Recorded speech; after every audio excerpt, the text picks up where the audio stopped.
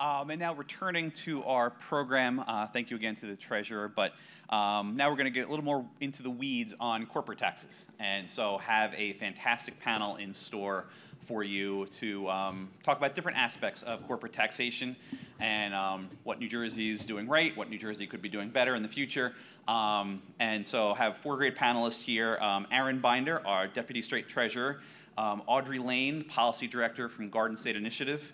Michael Puzyk is the Senior Manager in Indirect Tax Group uh, from EY, and David Shipley, uh, Co-Chair of State and Local Tax Group at Stevens and Lee. Uh, so thank you to the four of you. And again, their bios are, you can look at the QR code on the agenda and, and learn more about all of them. And they are all very, very impressive people, so I encourage you to do that. But, um, but wanted to make sure we have uh, plenty of time to talk taxes. Um, and I think sometimes we hear in New Jersey about um, affordability and competitiveness. And I think sometimes we don't spend as much time talking about the corporate side of that equation as we do talking about the um, other parts of just is it affordable for that, that family, that mom and dad. And it's just as important, and I think we're going to hear that with our um, panel today.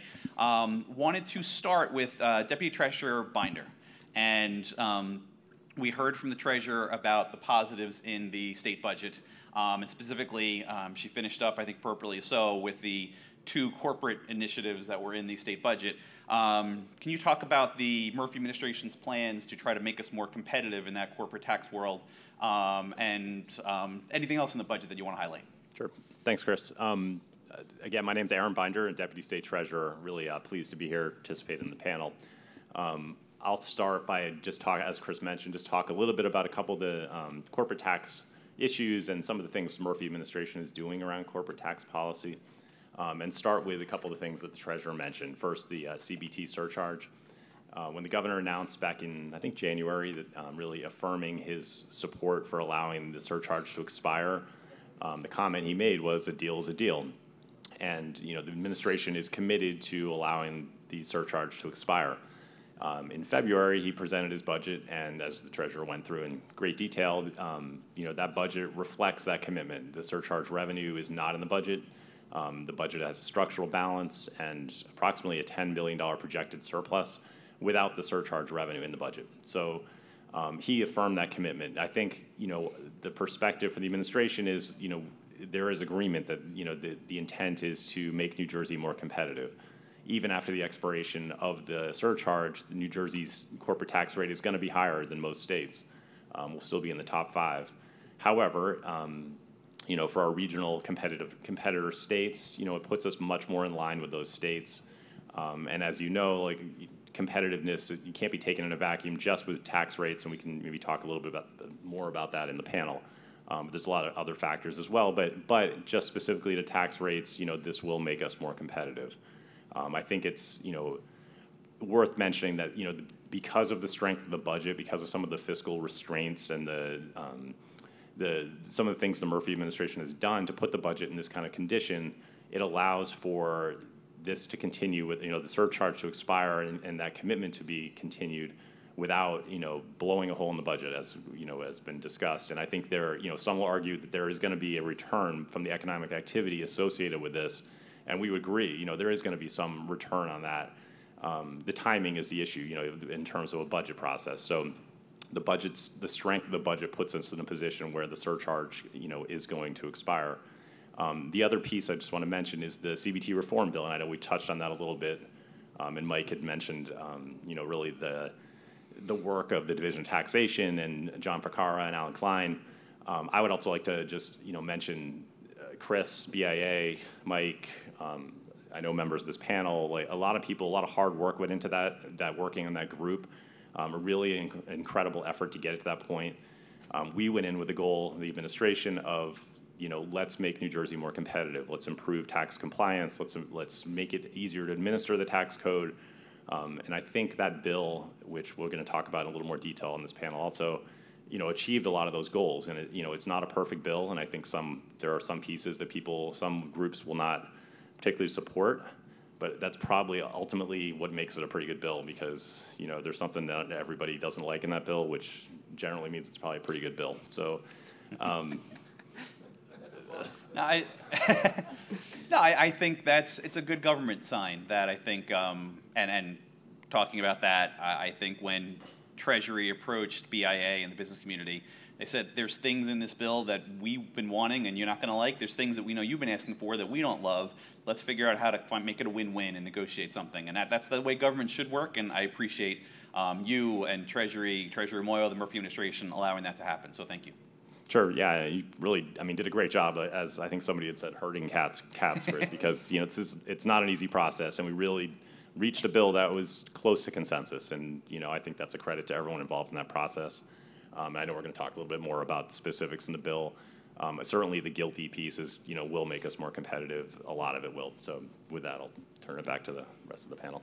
Uh, thank you, Aaron. Um, Aaron mentioned the rate reduction, and um, and I think Audrey, Garden State Initiative, you've been um, very very involved in the recent research that Garden State Initiative put out that talked about um, the importance of the corporate tax rate in competitiveness and um, where our rate is right now, where it's going to be, and what other states have done, and, and what things we can learn from that. So, I want to turn over to you, talk about your report, and talk about um, your thoughts on that rate reduction, and um, maybe where we should go after that. Terrific. Thank you so much, and thank you for having me today. Um, and for those of you who really would like to get in the weeds on corporate tax reform, there's a 40-page report on our website um, that can, um, you know, keep you up at night if you want. um, but we're at gardenstateinitiative.org. Um, it's pretty easy to find. Um, so, so Chris, to your point, um, a lot of states have taken steps over the past 10 years um, to, to make some changes. Four that we highlighted in particular in our report are Iowa, Indiana, North Carolina, and we're certainly keeping an eye on Pennsylvania. Um, Iowa in 2022 passed corporate tax reform. Um, they were they were actually one of the offenders, much like New Jersey, in the in the bottom five. Um, they had a high nine percent corporate tax rate, and and just to put this all in perspective, they were at nine percent. New Jersey is the highest corporate tax rate in the country at 11.5 percent right now.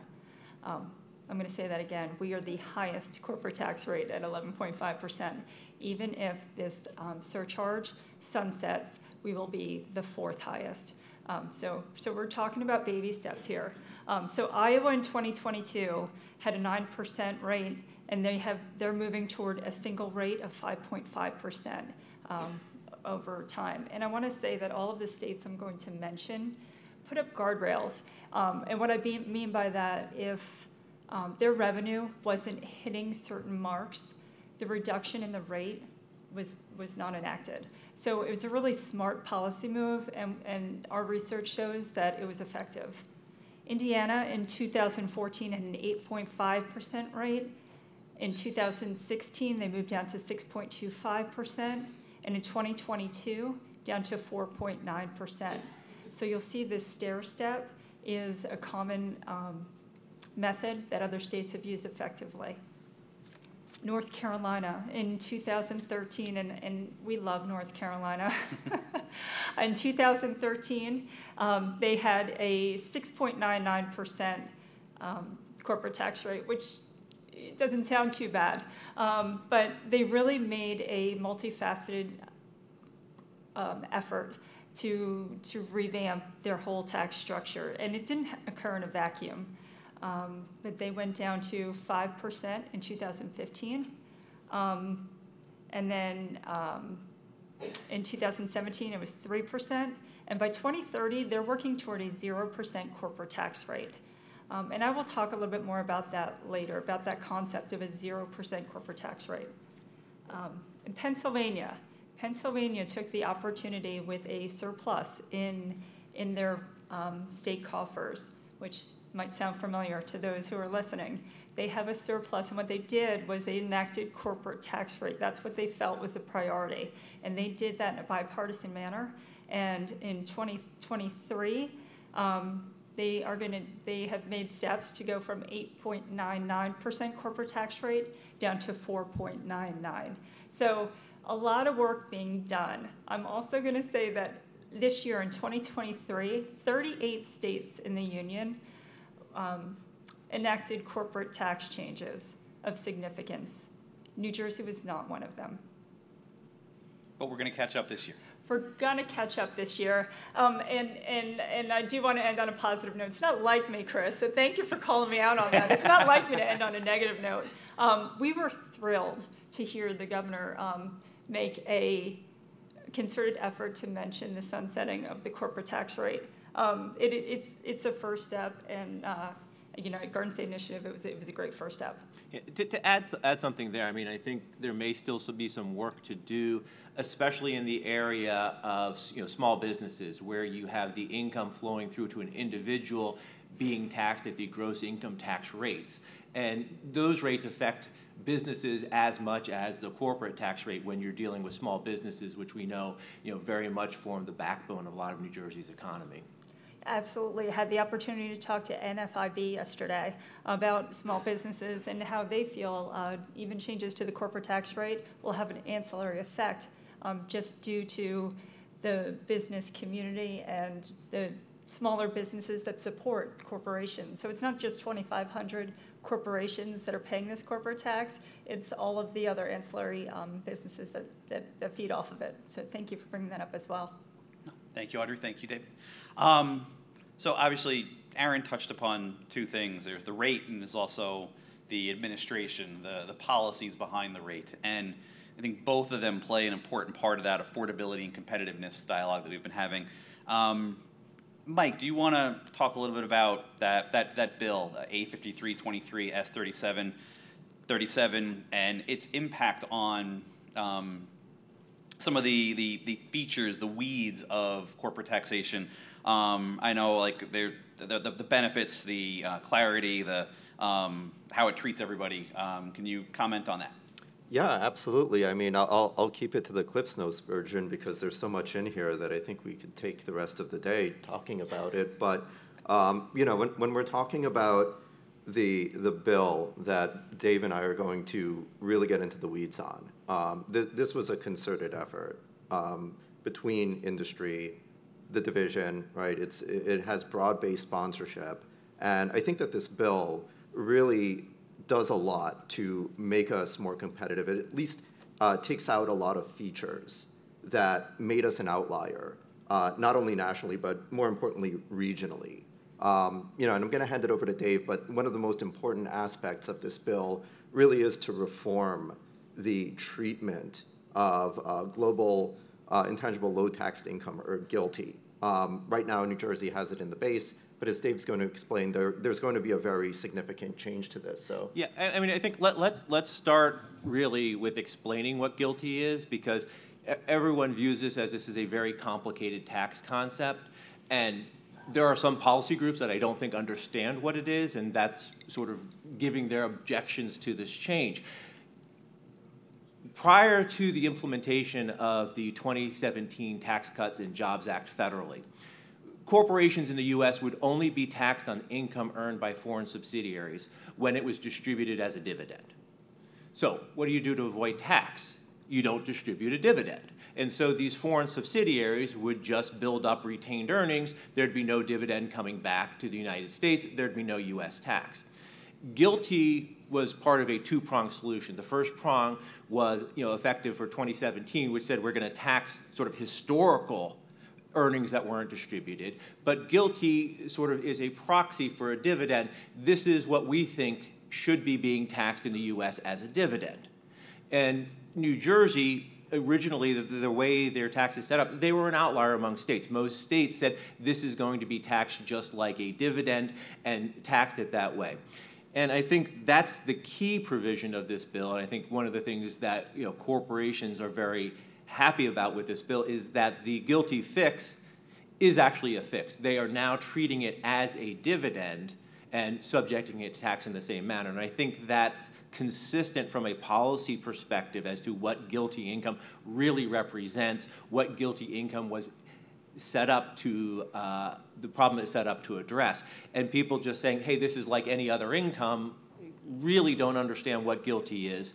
I mean, and if you think about it, this is income earned not just outside New Jersey, outside the United States, that's coming back to a parent company in New Jersey. And you know, having a tax on GILTI is really taxing companies, you know, that are headquartered companies that own foreign subsidiaries, the exact companies we want to be in New Jersey. So I think this is a, a good fix, and those who are objecting to it, I think, have not the best understanding of why, what GILTI actually is about.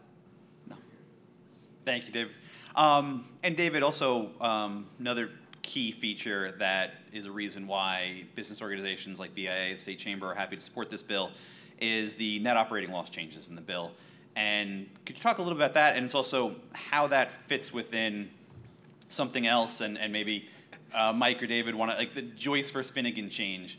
A lot of people heard these names. Um, is it actually a real person? Where did the names come from? and and who are these Joyce and Finnegan people? But and what do they have to do with with how you apportion corporate taxes? But then why the state's making this change, and then why some of the other changes fit within that. Right. So so Joyce and Finnegan is not a comedy duo, um, but are two California State Board of Equalization cases. So California was one of the first states to enact unitary combined reporting, and when they enacted it they've, since the years they've had it, they've flipped back between these two positions. Joyce basically says you have a group of companies, and we're going to take the income of that group and, and break it up among each company, and then each company is going to compute their separate tax. And so what that does is that eliminates any tax avoidance strategies or things like that because the income is split among the entities based on their business activity. Under Finnegan, the sorry, that, that would, yeah. So under Finnegan, Joyce, Joyce is separate. Under Finnegan, uh, really the group is treated as a single taxpayer. And all of the incomes combined and is apportioned by all the apportionment factors of the group. And it's a policy change of how you tax it. And again, we can argue whether one is better than the other. We can argue about the, the implications of that, but it's truly just a policy decision whether to tax one or the other. Sure. Now, you know, speaking to Joyce and Finnegan, really this is um, New Jersey's continuing movement to treat combined groups of companies that are engaged in what's known as a unitary business as a single taxpayer. Um, you know, to, to Dave's point, under Joyce, you would determine whether you would apportion income based on each individual constituent company's uh, presence in New Jersey or their nexus, right? New, New Jersey began that, right? They, they had a Finnegan concept for one of the methods by which you would combine your companies and file together. Now, now that's going, you know, that's going away. And it really is comprehensive, right? You know, we, Chris, you had mentioned NOLs. NOLs, that, that's something that is a very valuable attribute for a company, right? You incur a loss in one year, you can use it in a subsequent year. That's a very valuable thing to have. Um, originally, New Jersey's policy was that if you had a separate company that incurred a net operating loss, it could only use it against its share of combined income, right? It, right, it, and these were losses incurred prior to the shift to combined reporting. Exactly, right, and, and then there were, you know, all kinds of rules that were put in place about when you can share and not share um, you know, losses that were accumulated even in combination. Uh, now, New Jersey is shifting to those losses being used on a purely group basis. And, and that is an important innovation uh, for the state. And again, it, it really shows that policy dynamic for New Jersey saying, look, we were a separate company state historically.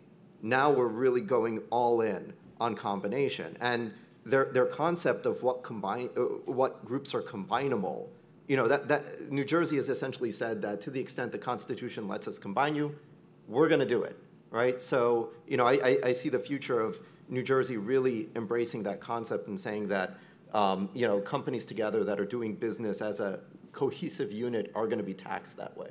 Yeah. And, and, again, kudos to, to Aaron and the administration for not just picking and choosing when you're going to apply the shift from Joyce to Finnegan, saying, hey, we're going to apply it only when it helps us you know, they were consistent from a policy perspective, which is appreciated, that, you know, you're, you're being genuine, you're being consistent. Yeah, and, and that is an important point, right? It's, it, it, you know, it's not necessarily a revenue raiser. Every, everybody thought originally, well, the shift to combined reporting, this is really just, just to raise revenues. It's, it's not. It's a, it's a conceptual shift, which in certain instances is not going to raise revenue. In fact, uh, certain states like Maryland have explored that, and they actually historically had um, data gathering requirements to evaluate whether or not combination was worthwhile. And it was determined that it wasn't, right? You still have a number of states regionally that are not combined filing states, Delaware, Maryland, Pennsylvania being the prominent among them.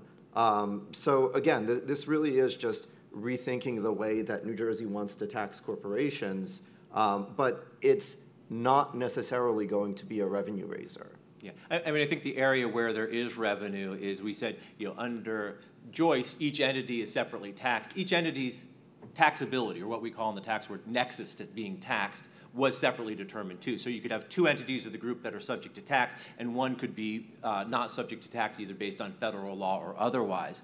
When you shift to Finnegan, each member of the group is taxed because again the group's looked at as a single taxpayer. So i think that that's where the revenue comes in. There's sort of an offset there about hey you're able to use these prior net operating losses against any entity in the group. And there's a couple other minor changes in there that you know go both ways on that. So it, again it, it's consistent. It's a give and take which a lot of this a lot of the draft legislation actually is.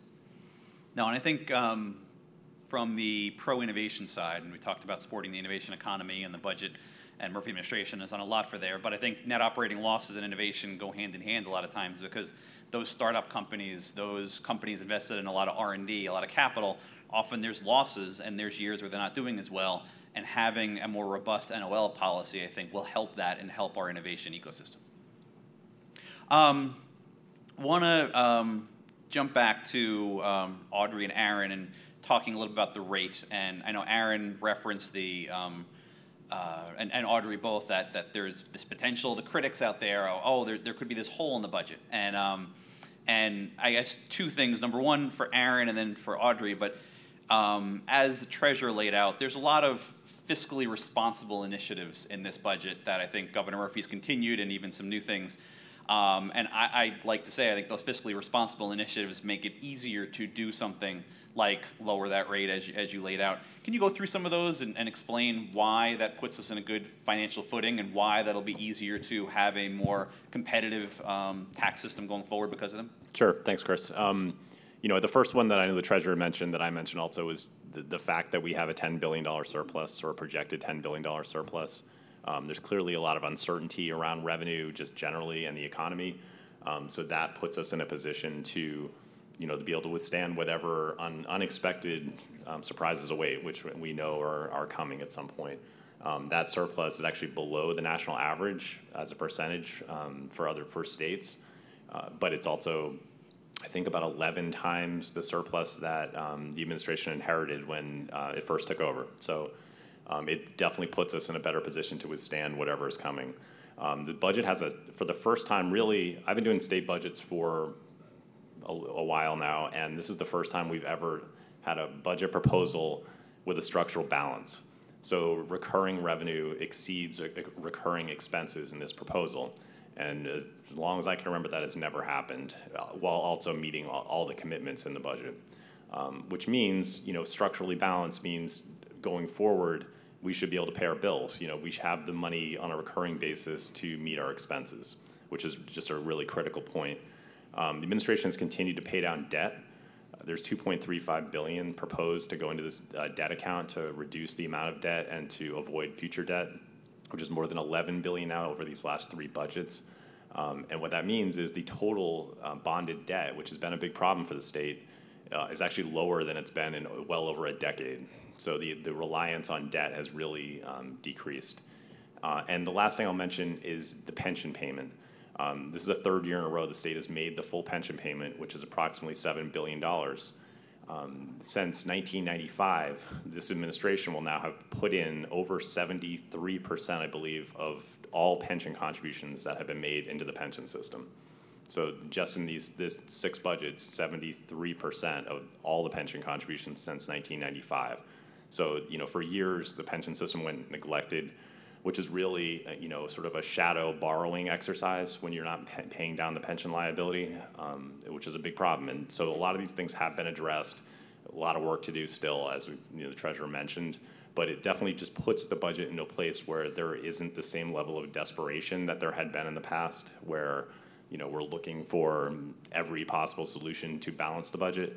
it's at a point now where you know it is in a reasonably good position where we can make good decisions, like allowing a surcharge, CBT surcharge, to expire. Um, and just one, one other point I'd like to make just on the tax rate, and I know, you know, as we compare to other states, we will be after the surcharge expires, we still will be the fourth, um, the fourth highest. But you know, as I also mentioned, the tax rate we can't just look at the tax rate in a vacuum in terms of competitiveness. I think there's a lot of other factors um, around infrastructure, transportation, educated workforce, higher education, K to 12. Like there's a lot of strengths, which is also why, you know, just a couple of facts on over the past couple of years. In 2022, New Jersey's um, GDP, GDP growth was actually um, 13th in the country. The job recovery, 111% of the pandemic job losses have been recovered, which is higher than all of our neighboring states and New Jersey's per capita in personal income is higher than Pennsylvania, New York, Maryland, Delaware.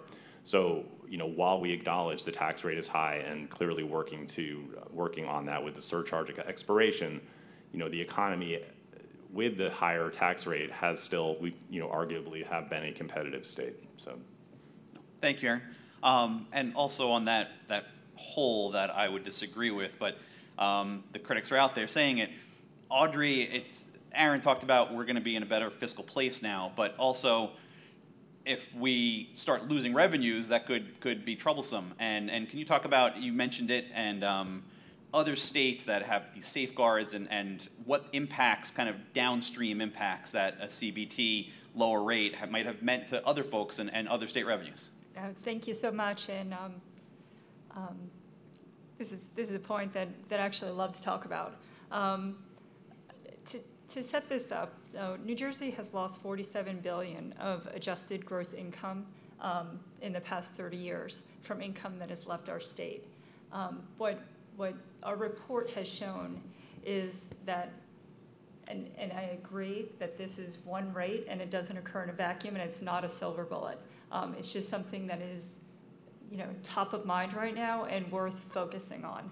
Um, so eliminating the tax would grow um, personal income by roughly 30%. And that's important because in the way it, it, it offsets a loss. So um, that's an important additional business activity makes up the loss in corporate revenue. And I want to also point out that this, this corporate business tax is only 4 to 7% um, of, of the revenue in the state. Um, so, so again, just keeping this in perspective. And, and to answer your question, Chris, the impacts of CBT um, and the lowering of the CBT that have been demonstrated from you know a decade's worth of data are that um, a high CBT directly correlates to a higher cost of goods and services. So that's important to keep in mind. Um, but lowering the CBT increases jobs. Um, it, is, it is shown over time that jobs are increased, and that is both by corporations and again by the ancillary businesses that I mentioned earlier. Lowering CBT also increases salaries. Um, when they have less of a tax to pay, there is more money in the, in, in the corporate pot, if you will, and salaries have shown to go higher. Um, there's a higher return on investment, as in for the shareholders of the company, and I don't want that to come across as just you know your C-suite executives that are sitting in a boardroom collecting more money. Really, that is an investment to shareholders and pensions um, so it really does affect um, almost everyone.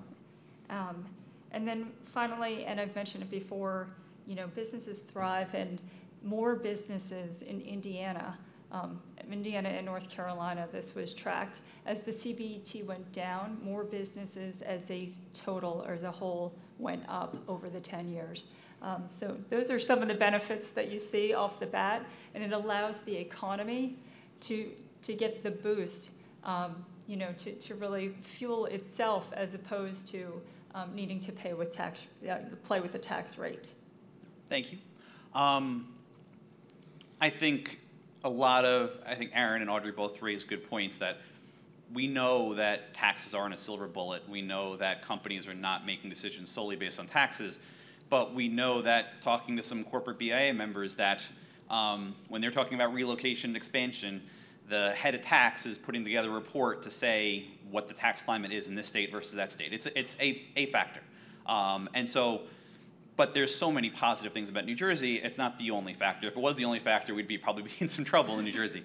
Um, but um, I think David and Michael probably have interesting perspective because Stevens and Lee, Ernst and Young, they're not just a New Jersey firm. Obviously, they they they have clients all over the nation. Um, can you talk about some of the whether it's the rate or some of the other features? Because BIA's policy has always been we just want balance. We don't want to be an outlier in taxes. We don't want to be an outlier because we want to be able to take advantage of all those great assets we have. And if we're an outlier in certain things, it's going to hurt us. Can you talk about your experiences and your firm's experiences and clients in other states? And maybe are there things that we're doing better? Are there things that we're doing worse? And, and some of that um, multi state perspective that your firms might have. Yeah, I mean, I think what you say is accurate. Um, it really is a business climate perception. I, I, think that's important to a lot of business leaders. In, in other words, it's you know, don't go to state X because they just don't treat corporations well whether or not going to state X is going to increase your tax or not in that state isn't as important as, you know, we just don't think it's a good state for doing business. And you see a lot of the groups come out with the uh, sort of tax climate uh, assessments in the state, which take a number of variables. And I mean, I think maybe looking towards this bill, there's a, a couple things that um, actually, you know, remove some of the what I'll call thorns in the sides of corporate taxpayers. Um, you know, one of those is the ordering of dividends and net operating losses. And this was a situation where if you had a company that provided you a dividend, you had to deduct that before you took your net operating loss deduction. So, I'm sorry, you take your net operating loss deduction before you took the dividends received deduction. So dividends from a subsidiary would eat up your NOLs, even though they're not taxable in the state. And so that was something that was changed in 18, changed back subsequently, and now we're getting that correct. I mean, do you want to? There's, yeah. some, there's some other provisions in here which I think are also taking us out of the outlier uh, category. Sure. Uh, you know, as, as Dave had mentioned, um, you know, it's, it's the perception of the difficulty of tax administration in New Jersey that I think drives a lot of the um, you, know, the, the unwarranted negative attention. Um, you know, New, New Jersey has a very old corporation business tax law. It has a fairly old uh, personal income tax law.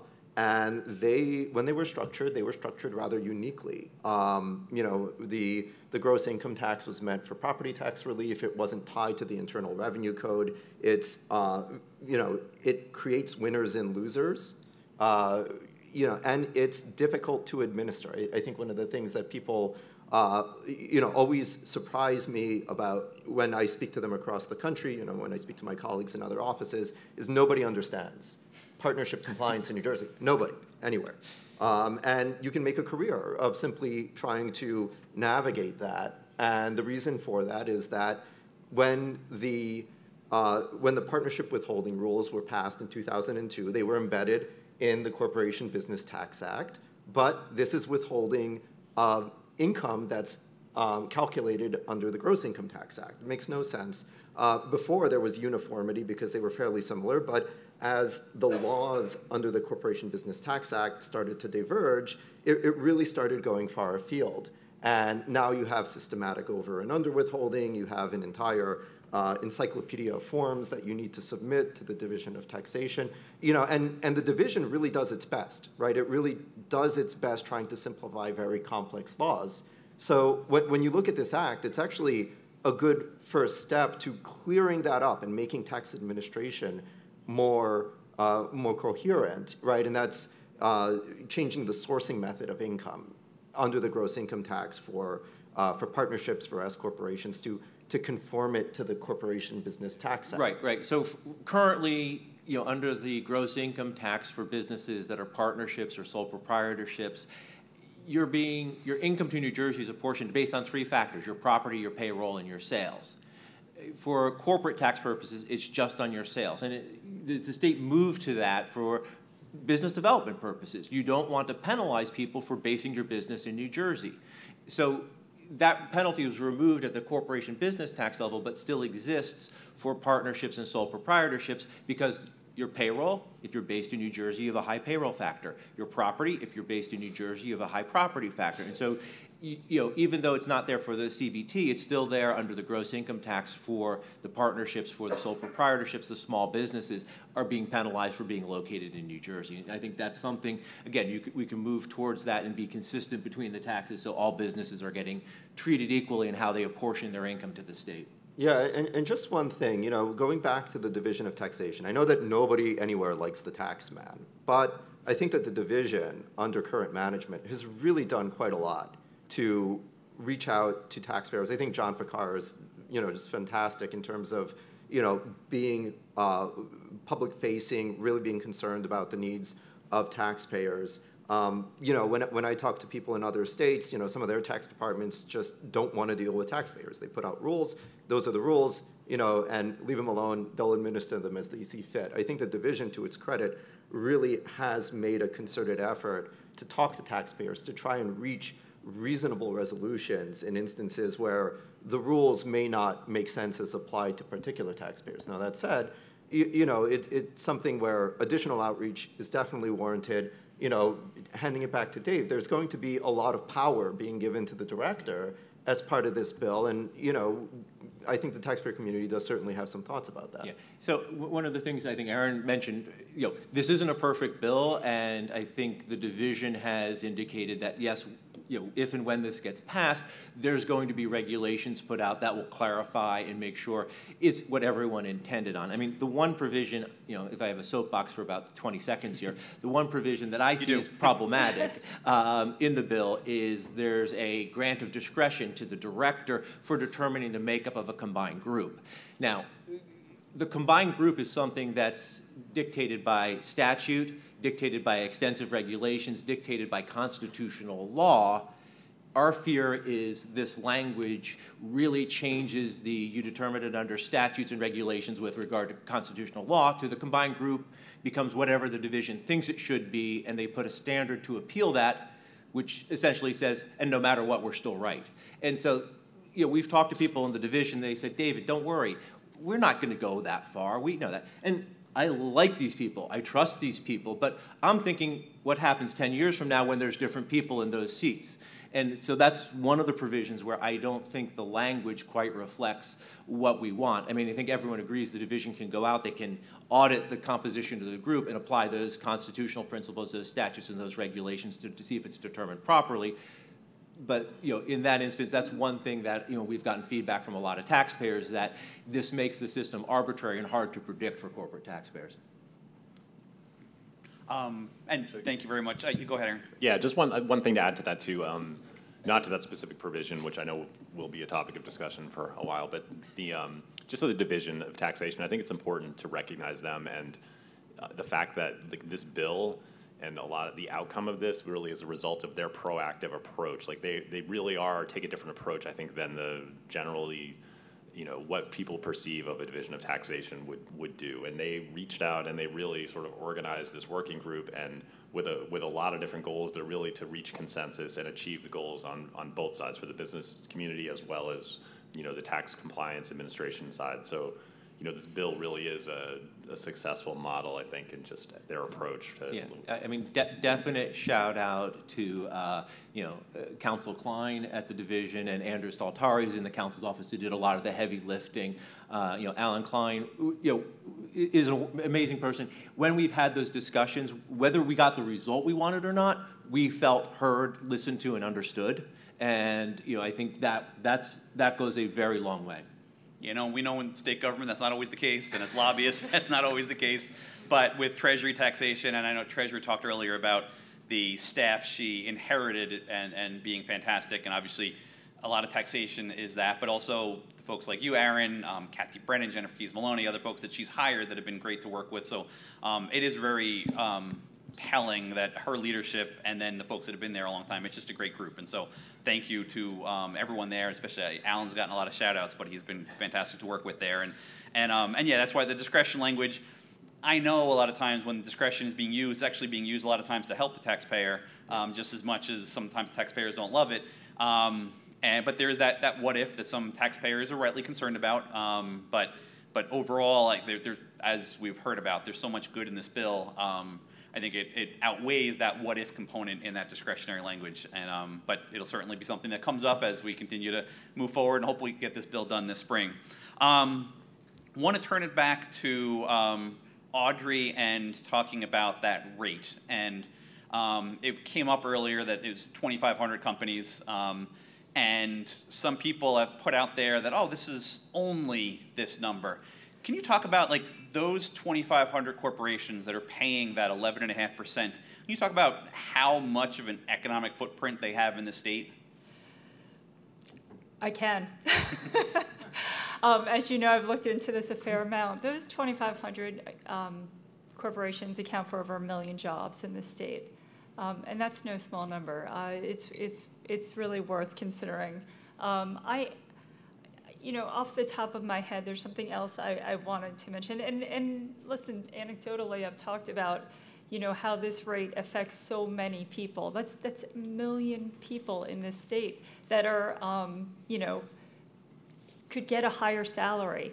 Um, it, and, and a couple of other things I want to point out. Um, if we were to follow the course of North Carolina, we would actually have 750,000 more jobs here, um, you know, over the course of, it's a 10 years worth of data. Um, so exponentially, you know, this, this impacts so many people. Um, and two other points I wanted to bring up, you know, since I have the microphone. um, in in 20, um, tw 2006, we had 22 Fortune 500 companies. Um, and today we have 15. So at this rate, we're in trouble for the number of jobs in the state. And, and I just, you know, I, I want to reinforce that. And then the other one, um, you know, worth considering is, um, is that number that New Jersey has lost 350 to 400 billion in personal income. Um, that's money that could be working in the state, um, you know, through these through these jobs and through these million people. It's, you know, when, when money is back and being reinvested in the communities, it matters to everyone, to the mom and pop shops, you know, to, to the people on Main Street, um, you know, all the way up to the C-suite level. So, so that's something we've really thought about is, is those million jobs. Thank you. And do want to draw everybody's attention, it's on your tables, um, there was a one-page graphic that Garden State Initiative and BA put out together to defend the position of the Murphy administration that this tax should be sunset and kind of setting fact versus fiction. So um, would uh, yeah look at that sunset and uh, and remember the good things that are going on here. Um, Chris, just, can I just jump in with one one just small counterpoint? Um, the that, that's all right. We like counterpoints. uh, we will not turn this into a debate, I promise. But the 2018, before the surcharge went into effect, the CBT revenue collected by the state was 2.3 billion dollars. In 2023, I believe, the revenue is will be over five billion dollars. So the actual corporate, just in terms of sort of stifling growth, and you know, and we, you know, certainly, this is not to say we don't agree the surcharge will expire, needs to expire, but you know, the economic activity and the growth has, you know, that arguably based on the actual tax collection, which is based on um, the profits, like, has not been stifled. No, but point well taken. Um, on that, Do I, get to jump in, or? Uh, yeah, go ahead, but it's not going to be a debate. um, you know, all I can say is looking at the 10 years of data that we have for North Carolina, Iowa, Indiana, you know, well, maybe we're not losing money, maybe we could be gaining more. Um, I, last thing I'll say on this then, we looked at North Carolina, we looked at the report, the they started reducing the revenue or the sorry the tax rate in 2013. Correct. 2009 was when the trend actually started with their economic growth. So I would argue that it's not necessarily a correlation there, but I do. That's the last thing I'm going to say. I'll let you have the last word. We're going to agree to disagree. It was starting to plateau. I know that chart. No, and this is why uh, tax policy is interesting, and this is why we can we can debate things like this for a long time. But um, uh, I also that that two and a half to five figure, Aaron, I'm fascinated by that because yeah, some component of the two and a half percent surtax is part of that. Some component of corporate growth nationally, internationally at the time is part of that. Um, obviously, the pandemic has been interesting, where we thought it would, would hurt revenues in many ways, and, and it's done the opposite in some. But then, how much of that is the TCJA changes and the fact that there's been a broadening of, of that, that CBT base that, that's come from federal change that we had nothing to do with. So I, I don't know if anybody knows. I don't know if Treasury knows exactly. I've tried to actually parse out how much is this, how much is that. But that growth has been startling because CBT used to be a much smaller part of our state budget than it's become. Um, and I guess with that question, thinking about just um, future, um, we, we know, we talked about the bill, Michael and David have gone into it, and that it's um, revenue neutral, and I know taxation, treasury are, are um, trying to get information um, to the legislature because I've heard a lot of legislators. It's funny, for some legislators say, well, Chris, we don't trust this is revenue neutral. We think taxation is trying to rip your, you guys off. And then some saying, we don't trust this revenue neutral. They're trying to give you too big of a tax cut. And I was like, I think it's revenue neutral. The only people that you can really trust to be revenue neutral is, is taxation. They're the ones that actually see the returns. But, um, but can Aaron, uh, you talk, and maybe um, Mike and, and David, the, the aspect of revenue neutral, but then also the future of, of taxation. Do we, does Treasury do long-term planning and kind of look where, where CBT is going from here? Because I've heard it's one of the hardest things to predict um, and, and obviously parsing out what's happened in the past, but going forward because of these changes, but also because of just the, the corporate tax climate that's, that's uh, we're seeing. Uh, what do you see going forward? Yeah, I mean, historically, it's been just an incredibly hard tax to predict, to project out. I mean, we've really been, you know, if you look at the last 20 years of um, revenue forecasting, we have not been very successful, I think, in really tracking it very well. Um, it, you know, this bill in particular, we're going through it carefully. It's a complicated bill, as as we all know here, um, to to really try to make sure we're, uh, you know, as accurate as we can be in the revenue estimate. Uh, definitely confident. I mean, I think just the way the, the bill was negotiated and the consensus that was reached, we're confident it's revenue neutral, but you know, it's to actually get to those final numbers, it's you know just taking a little bit of time, and we definitely are hearing the same things you're hearing from the legislature around, you know, being reassured that it's revenue neutral. So, um, in terms of future tax planning, you know, I mean, I think we're really focused on just getting through um, this bill for now. Uh, we know we've already, uh, just from talking to John Ficara yesterday, like there's a, they have other things they'd like to get done. I know the business community and probably people at this table have other things they'd like to get done. So, you know, I, there'll be opportunity. I mean, the division really has sought out, you know, as much input as they can. They've sought out these discussions to see what concerns are out there, and they'll continue doing that. Yeah, and I think, you know, I, I encountered the revenue issue back in 2002, which was prior to 2018, the biggest corporate tax changes New Jersey had put through, and they put a study commission in after they passed the legislation, and we were trying to get projections and numbers, and it's next to impossible. You're, you're really just making a lot of educated guesses. Um, you know, looking, talking to clients, talking to companies, um, you know, everyone said, I think what, what Chris said here, it's a mixed bag. You know, and so, you know, sort of anecdotally, you know, everyone's saying, yeah, there's, there's a give and take here from most of the companies in business saying, yeah, we think we're going to be better. We're going to be less annoyed because it's clearing up and making New Jersey consistent with the surrounding states.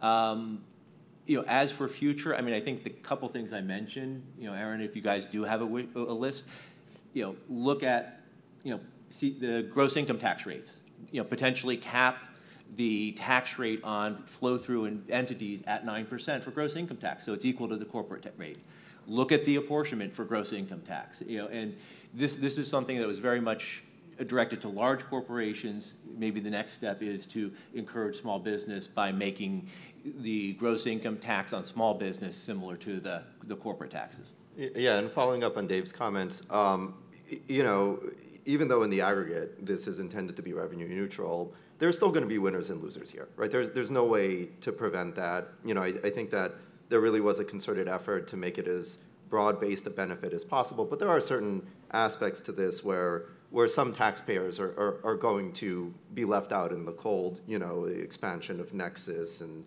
um, you know, the scheduling out of certain deferred tax deductions, things of that nature.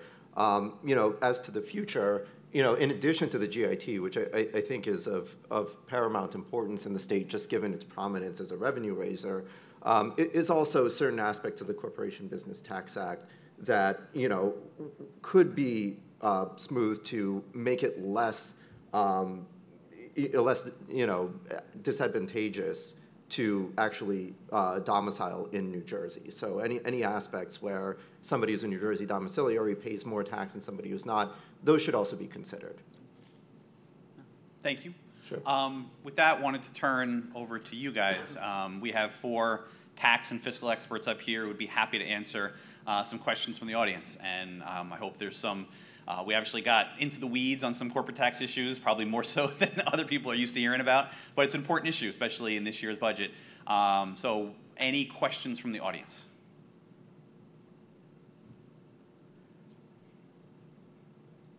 Hey, Chris, Yes, go ahead, Mike. Thank you, Mike.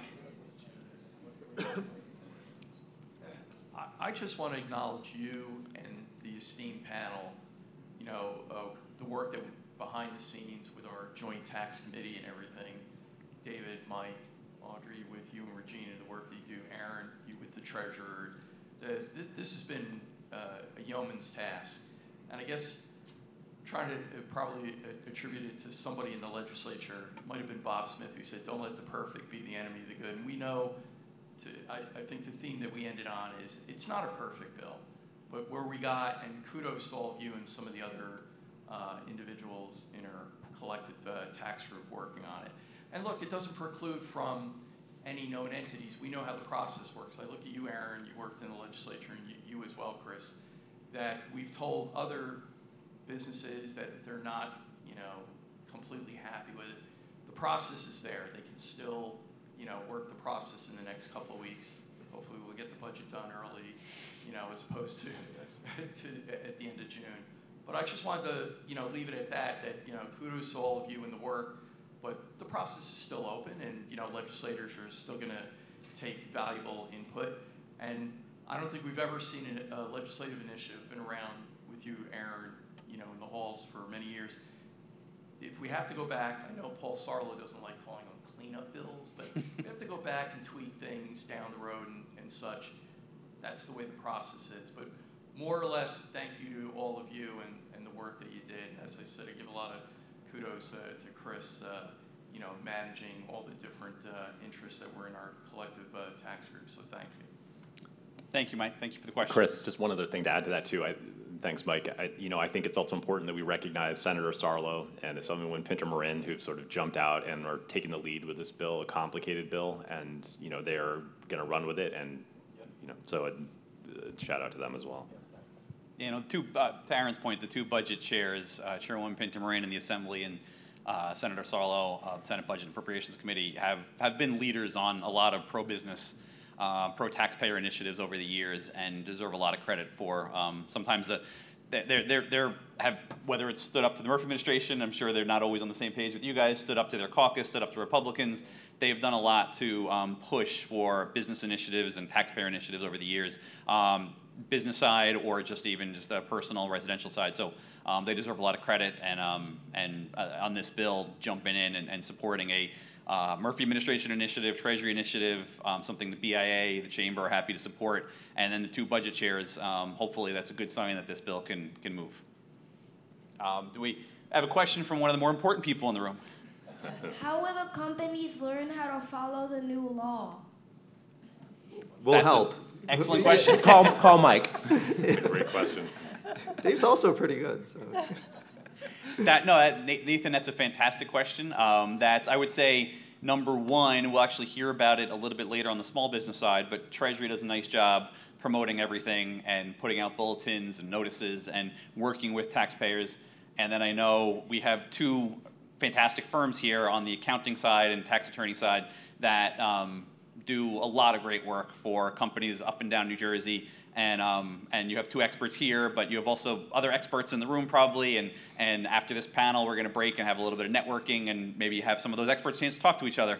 Um, but but that's, that's their job. And so I would encourage you, um, these, are, these are fantastic firms and super smart guys to talk to. And then it's part of BIA's job. And so we'll be communicating to our members um, when this law goes into effect and the changes that might have. And, um, and hopefully that'll be sooner rather than later, but, but that's our job to make sure you know tax policy, energy policy, environment policy, labor policy, health policy, education policy, And so um, we're always there to serve our members. And so please reach out if you have any questions and um, we can help you with, or we could also hook you up with some of our other good members in that accounting um, tax attorney world. But excellent question. Uh, Ray? Hi, um, can you hear me? This, this is on, yes. I am not a tax expert, so I'm, I'm not gonna ask a tax question. You know, I, I couldn't do that if I wanted to. Um, but I will make an economic growth, uh, statement and, you know, you can respond to that. Um, I, I do know that since, and, and, and obviously the answer is gonna be multifaceted. It's not gonna be all tax or anything else. But I do know from a manufacturing perspective that since 1990, we have lost 279,000 manufacturing jobs in New Jersey. Well over half of our jobs, you know, at that point in time, we're down to, I believe, about 250 uh, right now. I also know anecdotally, I had a colleague, or have a colleague, who just came back from North Carolina, um, where she was talking to their environmental officials, who told me that they cannot keep up with all the permits that they need to do because of all the manufacturers who are flooding into that state. So it may not be taxed, but obviously something is going on that, that makes North Carolina a more competitive um, environment, at least for the manufacturing um, uh, aspect of it. Thank you, Ray. Anybody want to comment on that? I could, I could jump in just to say, you know, anecdotally, and some of the um, information is obviously there's a cost of living um, issue that is, you know, obvious um, when you compare the two states. Um, and down the road, there, um, there's some indication that, you know, red tape has been a bit of an issue in this state and that there could be room for improvement. I, I see some nodding in the audience, but, but as, as I said earlier, you know, CBT rate is not a silver bullet, that these other states that were mentioned um, put forth a multifaceted effort in order to grow industry and um, attract businesses. And it's not going to happen with a single rate. Yeah, I, I mean, I don't have a direct response to, just 'cause I don't have all the data in front of me, but I do know that, um, you know, the EDA has put forward some programs, a lot of programs, more targeted economic um, incentive kind of programs um, to target manufacturing as well as other industries. I also know that the one thing I do remember uh, in really rough numbers, you know, and this isn't a direct response to your question or the statement either, but New Jersey's um, per capita income is somewhere in the mid seventy thousand dollar range. North Carolina's is significantly lower. I think it's in the low fifties. So, you know, just as one indicator of of New Jersey's economy, I think that would, you know, but I, I don't have a great response in terms of the manufacturing specifically for you. No, thank you. Uh, Manufacturing near and dear to BIA's heart. We started over 110 years ago as, as New Jersey Manufacturers Association, and um, and manufacturing is still very strong in this state, but but not as strong as I think we'd all like to. And thank thank you to the governor and the legislature for in the Economic Recovery Act of 2020, as you referenced the EDA programs. Um, manufacturing is is one of the target areas there. Um, the EDA and got funding in last year's budget and funding again in this year's budget for their very successful MVP program, which is kind of helping manufacturers support some of their capital needs. So there's there's work going on, but um, but yeah, Ray and myself and BIA would say, hey, we can't do enough to help manufacturers because the, the multiplier effect of those on the economy, and also I've, we're up here on a corporate tax panel. Manufacturers are disproportionately registered as corporations, um, unlike a lot of other um, parts of the economy that are moving to be more pass through these days. And so um, a lot of that is manufacturers are older, and back way back in the day, everybody was a C corp, and, and it's, it's changed today. But um, so anything we're doing on CBT bill and CBT rate, I think is going to help manufacturers more. So hopefully it'll start the uh, the work that Ray referenced. That's important. Any other questions? Okay. Um, yes. Go ahead. What's the plan going forward? I mean, this is, this tax, wa- this tax refund was mandated. I want to know what the next steps are to continually lower the tax rate on the CBT on the corporate side.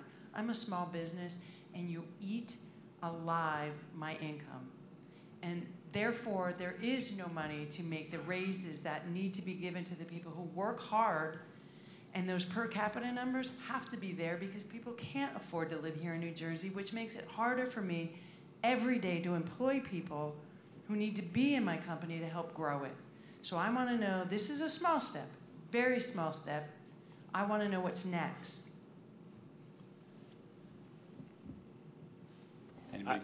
Yeah, I mean, the one thing I would say, like, in the same way, you know, the, the financial problems facing the state of New Jersey, you know, we're not gonna fix them in a, in a year, in one budget. You know, we're facing a hundred billion dollar unfunded pension liability, significant post-retirement medical liabilities, um, significant general obligation debt liability.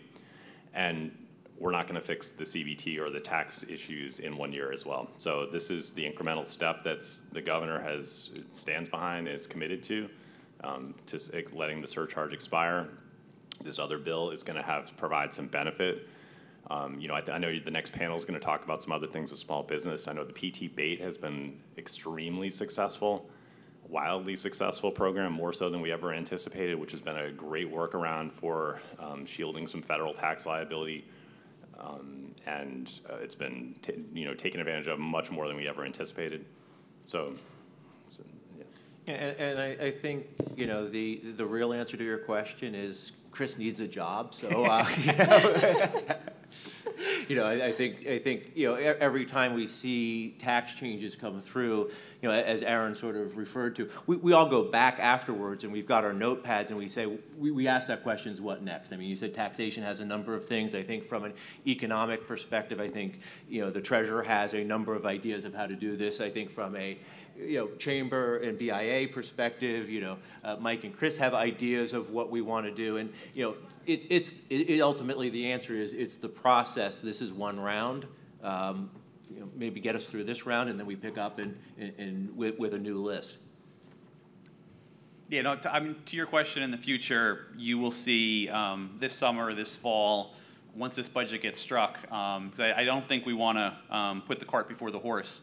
And there are um, legislators, there are other entities in the state of New Jersey that don't agree that this CBT reform bill and this expiration of the surtax is a good thing. So we need to be vigilant with that and not take it for granted it's going to happen, even though proposed by the governor sounds like it's it's going in the right direction, and I think I feel good about it happening this June. Um, but but kind of focusing on that, but in the future, BIA plans to work, and I know we're already talking to Garden State Initiative about um, what is next and kind of uh, economic roadmap um, to uh, some of the things that were addressed up here, some of the things will probably be addressed at the next one, um, and looking at kind of a, a, a comprehensive plan to bring that balance to New Jersey. Um, but also thinking about, as Aaron said, there, there's fiscal realities, and um, and I think Audrey laid it out very well that most of the states that have looked at this have done it with guardrails, have done it by step by step by step. It's not an all at once. No one's saying we should go from 11 and a half to zero, 11 and a half to five. I think 11 and a half to nine is a pretty good. It's, it's smaller than we'd all like, but it's pretty good for a step. Um, two and a half percentage points. Yeah, it's going back to where we started. So should we take credit for that? But there's there, there's folks that thought that we weren't going to go back to where we started. That 11 and a half would become permanent. Um, so so I like to say thank you for the things that um, weren't a given, and, um, and I don't think it was ever a given, and so I think the governor does a credit for proposing that. Um, but, more, but, but we need more work, you are right. Um, it's a first step, so you'll be hearing in the summer and the fall, and also we have um, elections this November. Every one of the 120 legislators are up, so I'm sure there'll be um, candidates on both sides of the aisle talking about what they see in the economy, and, and so I'm sure this fall we'll be in touch. And if I could jump in with a positive note, um, in sharing the report with legislators on both sides of the aisle, there seems to be um, an appreciation for this and an acknowledgement and even support for next steps. So to Chris's point, what we're hearing is let's get through this, um, and then please come back with more information. So that's a really positive note. Yeah, no, I think we have time for one last question from Ralph Thomas, but also please reach out to us because if you have good ideas, you're an employer, um, you pay taxes, and we want to represent our members. So if you have ideas, hey, Chris, it'd be great if they do this, this, like, stay in touch because I want to hear from you because you have insight that I'm not going to have, and, and I want to learn from you. Okay. Thank you. Uh, Ralph? Uh, we've been disappointed in is, the- is the fact that the, the governor had- had, uh, indicated that he was going to right-size state government, and that hasn't happened. And um, I think that eh, combined with the, the lack of technology in the uh, in state government, this has been a big problem for organizations like mine and for licensing and whatnot, et cetera, et cetera, et cetera. What's going to be done about that? I've asked this question a number of times at different meetings, and people say, "Yeah, yeah, we yeah, we have this," but nothing get nothing seems to be getting done. That's a tricky one. Aaron, do you want to comment on that first? I- Could you, I'm- I didn't entirely understand, when you say right sizing, are you saying make, are you saying make government smaller? Okay, because the state workforce, I don't have the chart in front of me, but the state workforce is down thousands of employees. The, the government is much smaller today, the state government, than when Governor Murphy start, took over. But also, the uh, lack of technology uh, is, is a problem as well. So, For example, uh, with the Division of Consumer Affairs, in terms of licensing, I, I had a, situ, a situation where my members, uh, CPAs, were having challenges getting licenses uh, from the division. So, you- so I certainly agree, that te- state, technology in the state is incredibly antiquated, like, in- across the board. However, there are significant investments being made. I mean, it's the kind of thing where you, it's just too much, like, there is too much to tackle in one, at once, but there's investments being made in MVC's system. Um, Taxation has a, a massive new system that's gonna A benefit new every. portal, it's quite impressive, yeah. Yeah, it's gonna be, it's a, it's a several year project, but it is gonna be incredibly beneficial to the business community and taxpayers. Um, there's a lot of other systems, I could, we can get you a list, actually. There is massive investments. Hey, no, Ralph, you pointed out the poster child of Division of Consumer Affairs because we do have a workforce crisis of sorts in, in many industries throughout the state. And um, Althea is doing a fantastic job at BIA, um, shepherding a bill that came out of the Assembly Majority Office um, to address that issue and try to get more funding to the Division of Consumer Affairs. And um, so we know if there's a workforce crisis, we shouldn't have state government lack of certifications or licenses getting in the way of that. So hopefully that bill moves forward um, this spring and, and gets done, and I think that'll help there. But but yeah, the, the, we we've heard in a lot of budget um, talking budget and taxes here. A lot of these budget hearings have talked about like DEP spent a lot of time talking about the lack of staff there, and and so it's it's we, we want state government to be right sized, and I think technology, you're 100% right, is a big part of that. But I also think um, sometimes it's a double-edged sword that um, you have less people that are actually there to answer the questions. Like we we've said great things about taxation, but sometimes at labor or DEP, they're not getting that same customer service. So it, it's um, um, there, there's definitely work to be done, and you're 100% right. But I think there's also some some areas where uh, they probably need more staff. And that, that's why I asked the question, what right sizing means to you, because, because I think we have gotten a lot of, there are issues where we can't, we haven't been able to have enough staff in some areas, so.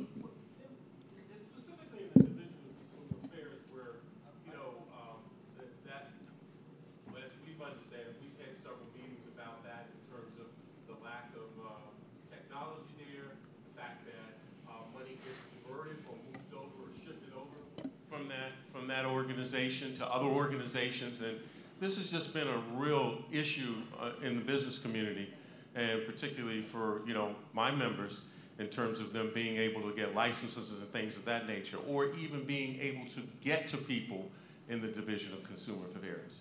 It's like a train wreck. No, you're 100% right there, and that's something that I think is a bipartisan initiative to focus on that. And I also think th- this is a whole other conversation, and, and I know past BIA events have talked about this, the issue of remote work. And I know um, legislative leadership, both Senate President Scutari, Speaker Coughlin have talked about um, what impact is that having on the ability of state government to be responsive. And again, I haven't noticed it in Treasury, and I think we're dealing with one of the more responsive, um, customer-friendly parts of state government. But I know there's some entities in state government that are less so, and um, and people are frustrated. I hear from both sides of the legislature, and, and I hear from BIA members. So um, we're getting there. Consumer affairs is definitely an important one that we're prioritizing. Um, so thank you very much. Thank you very much to our esteemed panelists. Um, and so now we have a uh, 10 minute break, stretch your legs, get some fruit, coffee, um, take a bio break, and then we'll be back to talk about small business tax issues in a few minutes. Thank you.